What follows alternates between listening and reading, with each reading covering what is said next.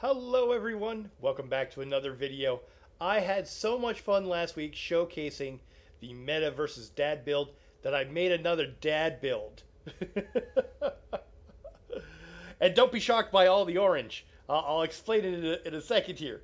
So, um, uh, so far, uh, all of the tunes that I've showed you outside of Budget Gandork were uh, Magicka based and I wanted to show you one that was a heavy attack uh, build, but a bow-based heavy attack build.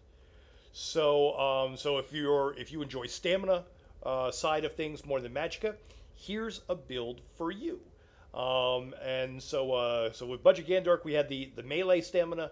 Uh, now we've got a range stamina build with this, and this one is called. Get ready for it. Dun dun dun dun dun dun. The orange arrow. so we got the orange arrow. I've made him very superhero-ish. We've got Bastion is all decked out as well. Um, and uh, so uh, so we're going around and fighting crime in uh, Tamriel and having a good time. I've been really enjoying this build. Not only did I find you know a wonderful fashion and bright orange uh, but uh, it's been a lot of fun. It was fun to, to get Bastion on this new character and and go around with uh, with him and do that. So uh, um, you know, a lot of fun, a lot of fun. So let's explain the build for you. And actually, I'm going to put away uh, Bastion here. Let's put away Bastion. Bye, Bastion. All right, let's show you what I got. All right. Um, so yeah, a really fun build. Having a lot of a great time of it. Uh, again, I want to say thank you uh, to my friend Pisces who helped me out with this build. Uh, he's uh, helped me on a few of these where I've kind of got the general idea and then I, I come up with a few things that I've uh, uh, sets and things that might work and everything. And then he kind of takes it and, and goes comes back with with even better sets and better things. And I'm like, oh, oh my gosh, I want to use that. I want to use that. That's a great idea and stuff. So uh, shout out to uh, Pisces for helping me out. Thank you so much, buddy. All right. So we have a few different things on here. We're going to be looking at Infallible Aether as one of our main sets. Infallible Aether is really good set, uh, especially now because um, it gives spell damage and weapon damage, uh, where it only gave uh, spell damage prior to the changes in Update 32. So now we have these changes in here. So uh, it gives us crit damage, um, I changed out the um, uh, to a stamina enchant, still in divines, uh, the whole set of it. Um, uh, and uh, the big thing is that your heavy attacks deal an additional damage, um, and uh, um, and uh, they're also afflicted with a minor vulnerability for 10 seconds, and it increases their damage taken by five percent. So it's a really great set now for stamina as well as magicka in there. Uh, and right off the bat, you might be saying, um, or maybe you didn't think of it because I didn't think of it at first, um, is that, oh my gosh, it's a light set. For stamina, we probably want medium. Well, um, yeah, you definitely do want medium. So what we've done is that we've gone light, and we've gone light with the head and the shoulders, and then put the rest of it on uh, jewelry. So we put the rest of it on jewelry, and then um, um, uh, so then we don't have to worry about it. When you put stuff on jewelry like that, you don't have to worry whether it's heavy, light, or medium uh, in there because it doesn't matter. So the second, oh yeah, and don't uh, don't worry about the gold in there and stuff. Uh, I just happen to have these because I I did a lot on my you know spell damage characters back in the day, so I, I had extras. Um, uh, because usually the dad builds were, were all purple. So uh, so don't fret about that. It does not have to be gold.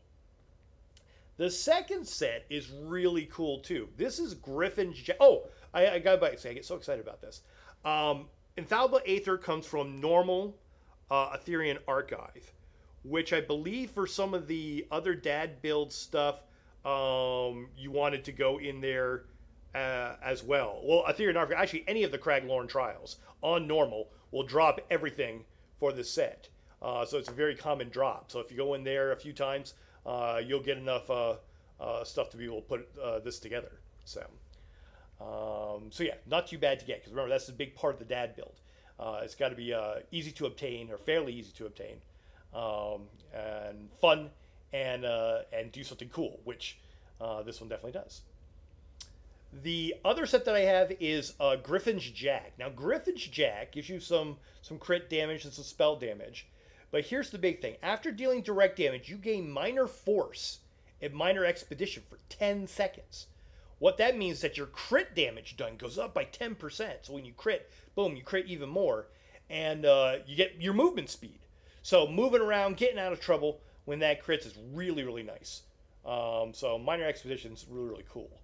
Um, and this is an overland set from Summerset. So very easy to get through the traders or just out and about, you know, overland killing stuff. You'll come up with the set. So uh, really uh, an easy one to get. So easy one for the Griffin, all right, which is in medium. And so we have it as our, our five pieces here. Uh, the two pieces for light for the head and the shoulders, and they're uh, IA and then IA jewelry. Right? And then the last thing is actually something that um, you've been going through already if you were trying to get my dad builds up and running. Is uh, if you're going into Dragonstar Arena on normal, you're going to get the Master's Bow. Again, you don't have to get the perfected version of this. All right, you can get the regular one. It's not going to be that much change of a, a, a little bit less spell damage, but it's not that bad. Um, and the great thing about this one is that it increases your weapon and spell damage by 330 against targets afflict, uh, affected by your uh, poison arrow. And so, uh, poison arrow is one of the skills that we're going to be using, which is really cool. And so, basically, you start off with that. It doesn't even matter, especially if you're in a group of enemies. It doesn't matter which one you hit. Boom, your uh, your spell damage is going to to go up. So, uh, um, um, yeah, so it's, it's going to do a, a, lot of damage in there. Um, boom. So, um, and with that, we're infused, and it's poison damage uh, that we want for the weapon enchant. Uh, for all of the uh, pieces, it's going to be divines for the trait. For the jewelry, it's going to be bloodthirsty with a weapon damage. All right. Uh, food that I'm using for this, I'm using the braised rabbit spring vegetables. Uh, increase health and stamina. Uh, really good. Um, I'm using stamina pots in there. You can also use weapon pots as well. Um, that'll give you a little bit more of a boost. Um, but uh, stamina pots are just fine. Uh, just in case you need them. Actually, with a heavy attack build, we get back resources so easily. Um, usually, I'm not using these too much. So, uh, let's see. Dun, dun, dun, Put everything into stamina. Uh, actually, do I have food on right now? Oh, it's about to run out. Let's put some food on there just to make sure I don't run out of it. Mmm, good food. Um, let's see. So we're looking at for stats. We're looking at our health is at 24. We're almost at 30k. For stamina, we've got recovery. Again, you're going to be doing heavy attacks. Your recovery is going to be fine. Uh, your weapon damage is at 35 31, which is really good. Your weapon critical um, 40 uh, percent, not too bad. Um, and so with that, I've got on the Mundus Stone of the Thief on there. Uh, don't worry about that. I think when I tried this character a long time ago, I, I, was doing some werewolf stuff, so that's just there. Don't worry about it. Um, yeah. All right. So we got all that in there. Let's look at the skills. All right. It's a one bar build. All right. One bar build, just like my other stuff in there. And the skills that we're using is we're using poison injection. All right, poison injection uh, comes out of the um, the weapon tree. If you got a bow, so we got poison injection. That's the one that we want for our bow, uh, so that we get more damage. Uh, caltrops. Caltrops comes out of the um, salt tree, out of uh, uh, doing PvP um, and battlegrounds. You also have arrow barrage, which again is a weapon from your bow. There, using arrow barrage. Um, you've got a heal from PvP as well. Our vigor. We have now the. Actually, let me skip that one for a second. Uh, then we have rapid fire, which actually I've got to upgrade. It's going to um, go to ballista when I get it upgraded. This guy hasn't upgraded it yet, so uh, very close to doing it. Um, and we get that. We'll put Ballista in there. Great ulti to have. Um, and that's it, except for this one. So if you notice, it's um, Assault Tree for PvP or weapon stuff. Um, so other than this fifth slot, all right, your class really doesn't matter. Your class really doesn't matter. So you could actually pick any class and put this on there. So if you've got a class that you're just not using and you don't want to delete it, but you want to be able to play with it and do something with it, yeah, you could make this build out of it. Very easy. Actually, that's the process that I went through in here. This is a Nightblade, and I've got a couple of Nightblades already. Um, and I'm like, well, I can do this. It's like, well, what can we run on that? Well, one of the great things for the Nightblades is uh, this relentless fo- uh, focus, which um, as it builds up for me doing uh, heavy attacks or light attacks, but we're going to be doing heavy attacks. Um, I'm going to start doing more damage because I get an increase of spell damage um, with each one. It stacks up to like five times. And then when uh, it gets full at the five, you actually have the option to release it for uh, some big damage. What does it say down there? It says uh, 14,305 right now of disease damage. So, um, so yeah, so you either hold on to it and just have all your general damage do a, a lot more, or if it's like, I, I kind of use it as an execute. When we're getting down to the bottom, boom, it hits. And it lasts longer than the Magicka version of it, which is really cool. So this duration is 60 seconds. So I pop that on at the beginning of fight, and you know it, it lasts me for the whole fight. So really, I'm just concentrating on these four and the ulti when it comes up. So, uh, yeah, yeah. So that's what's going on with those. Uh, let's see. Let's get to uh, CP. CP is um, for the craft and warfare are the same uh, that we've had in other videos. You know, I'll look at it. I'll show it just off real quick. We're using, you know, Treasure Hunter, Master Gatherer, Plentiful Harvest, and Rationer, um, and then any of the other passes. Um, for uh, fitness, I'm using Balanced Vitality, Fortified, Spirit Mastery, and Bloody Renewal. You want the Bloody Renewal on this one because it gives you the stamina back whenever you kill an enemy. So that's always good. So uh, 1500 stamina. And then for our blue, uh, we're going pretty much everything stamina. Uh, we're taking all the passes in there and we're using Fighting Finesse. So we're doing a little bit more with our crit damage. Uh, Thaumaturge for our damage over time. Uh, Master of Arms, increasing our damage to direct damage. And Weapon Expert increases your damage uh, with light and heavy attacks. So our heavy attacks will do uh, more damage in there. But everything else, as far as all the other passives, and then, of course, um, the passes of Battle Mastery for martial status and uh, Mighty for giving us more uh, um, weapon damage and uh, poison and disease damage, which we need. So all of those, pretty standard stuff now. If you've watched any of my other videos, um, that's what's going on. Uh, let me see. That was pretty quick. Uh, am I missing anything? Am I missing anything? Dun, dun, dun, I explained about the sets. We've got the things. We've got the stuff. We talked about the food. Uh, I think we're pretty darn good. I'm back here in uh, Deshaan again, um, in the um, Forgotten Crypts, because uh, that was a great way for us to kind of, uh, you know, show off some of the damage of this dad build. Um, like I said, the, the the concept of the dad build I want to get across to everybody is that 90 to 95%, I'd say 95%, 95% of the things that we do in ESO do not require any type of meta um, build or gear or anything like that. All right. Um, if you can take a character and solo within a public dungeon, you're going to be able to do normal trials just fine. Um, and maybe some vets if you've got you know a nice group of people, you got a nice guild um, in there that want to take you along.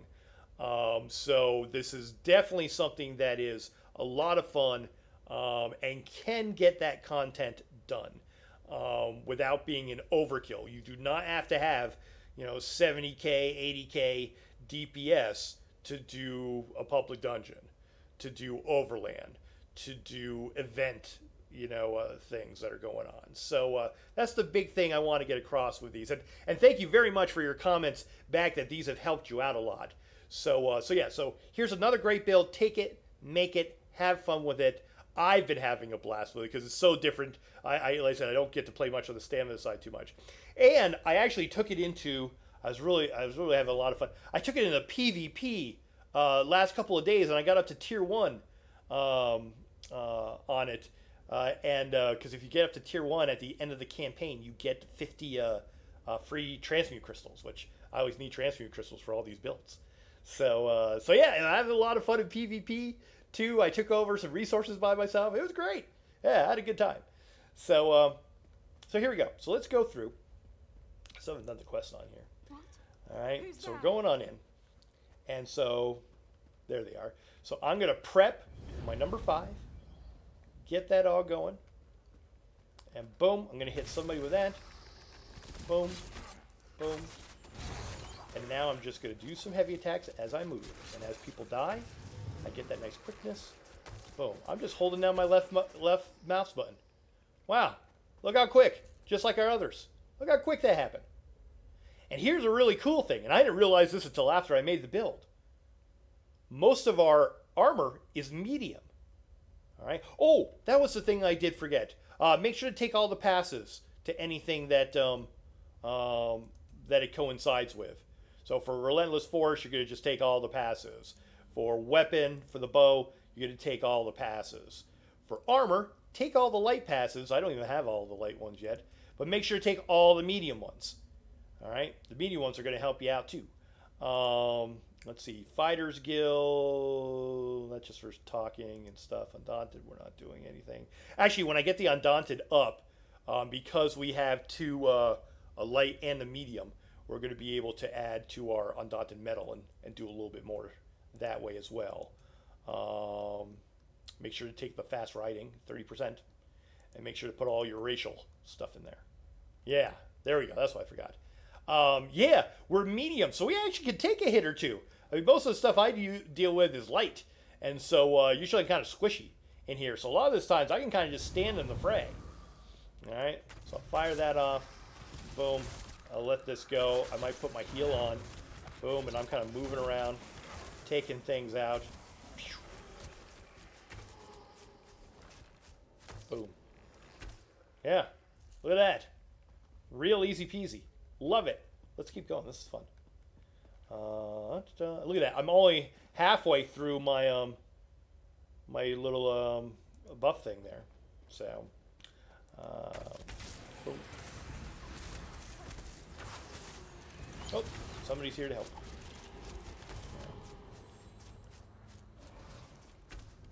So I'm gonna get this guy. Get over here. Here, I'll hit my uh. Ooh, look at that. 29k. 29k with the uh, um, relentless focus. Oh, that felt good. That was cool. Yeah.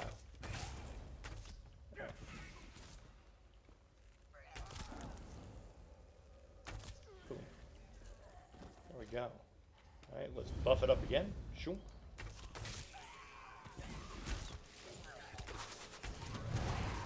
Put on my health sometimes and do that. Here, I'll pull a few more.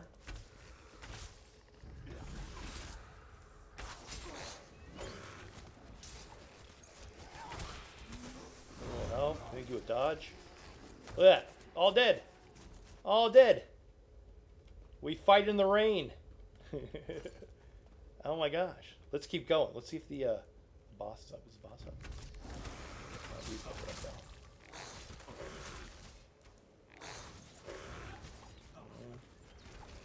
I'm just holding down my left mouse button, moving around, getting those heavy attacks off.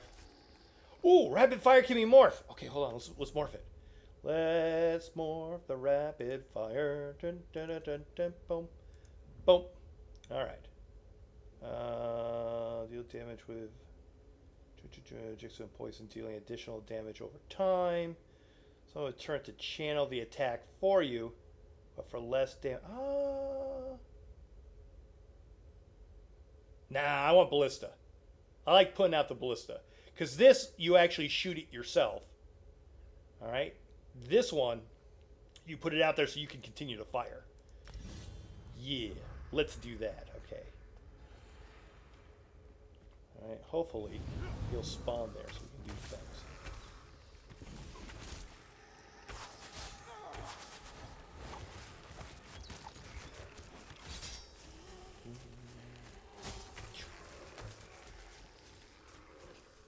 I'm still looking. I'm still looking. Oh, we got one more. Phew. see, is that other guy up over here?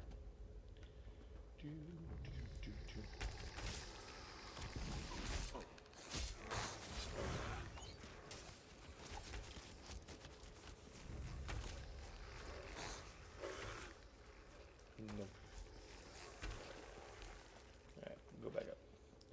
Go back. Dun, dun, dun. Oh, this guy's still here. Ooh, he just did an epic dodge roll. Nice, sir. Sorry, you gotta die. Alright, are you coming up yet? Get up here. I gotta show the people how I can kill you.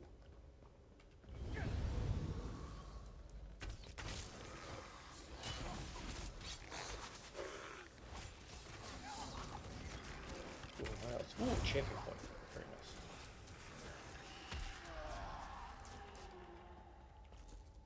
There he is. Okay, here you go. Ready? Everything's up. Everything's good. Poison. Ballista. Yeah, Ballista just taking him out. Love it. Ooh, 35. Ooh, 35k. I'm a Forgotten Crypt Conqueror. Yeah, I am. You know why? Because I'm the Orange Arrow. Thanks, everybody, for watching. I'll talk to you later. Bye.